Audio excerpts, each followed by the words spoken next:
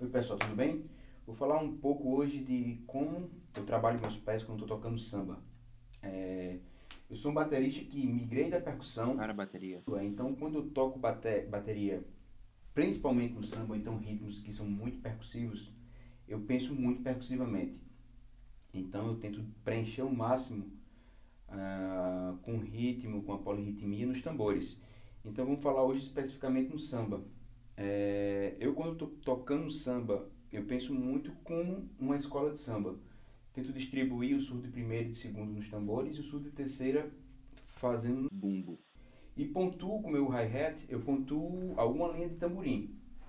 E preencho e preencho também de outra forma na caixa com tamborim distribuindo nos tambores. Então vou mostrar um pouco de como eu penso tocando surdo.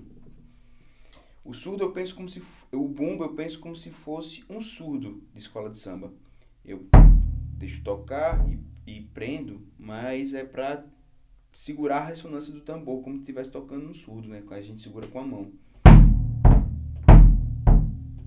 É assim que eu penso.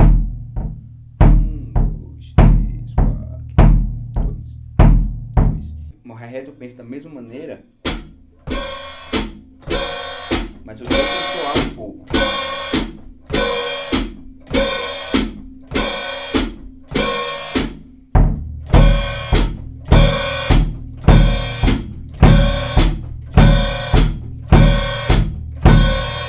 Outra maneira também que eu posso, que eu gosto de tocar, essa mesma maneira o surdo, tá aqui, e posso pontuar.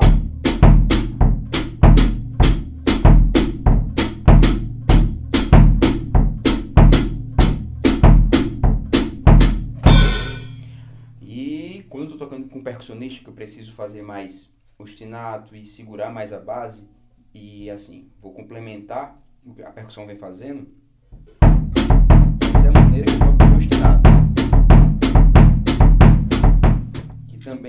permite pontuar com hi-hat.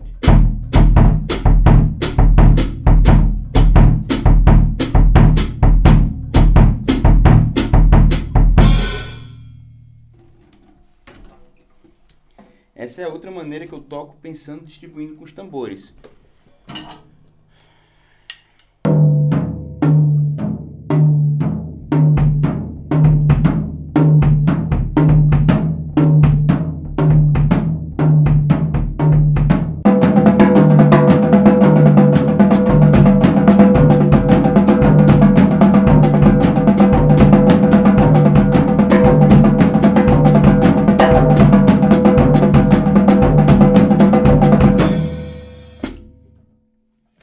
Espero que eu tenha ajudado e até a próxima.